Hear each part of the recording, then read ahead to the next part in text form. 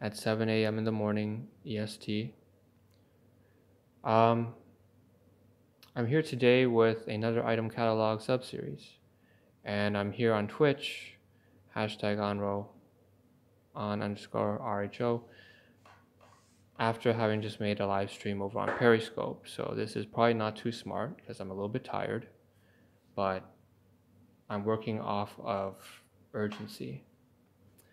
And um, it's urgent. What's urgent is I'm fed up with myself.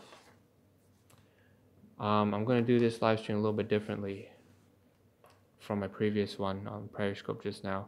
Start off with BTS and just say, I'm so sick of myself, so sick and fed up with how long it's taking me to change.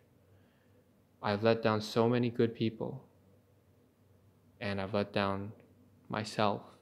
I've let down my old friends over from way back in high school who have hit me up for reunion. I've let down people from way back in my middle school, elementary school days, and now they're they're working people. They're once a software developer and others somewhere working for a utilities company, but we all want to get together. I, I just I let them down too. And then I let down my colleagues at my workplace and all my colleagues from management.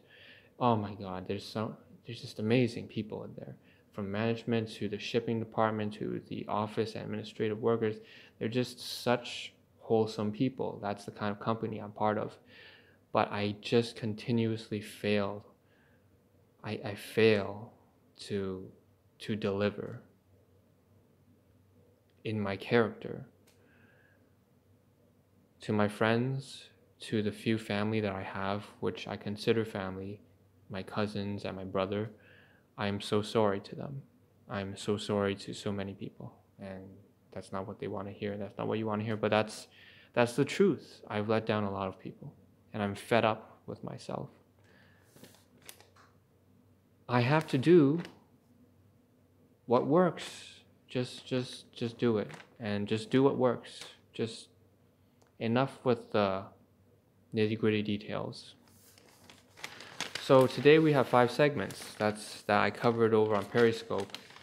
Um, we're, we're starting with BTS today, and that's what I'm starting off with. Just a, just this thing that I'm tired. I'm so tired of myself doing things in a way that just doesn't work, and I'm so tired of dragging my feet and holding myself back from what I know I'm capable of.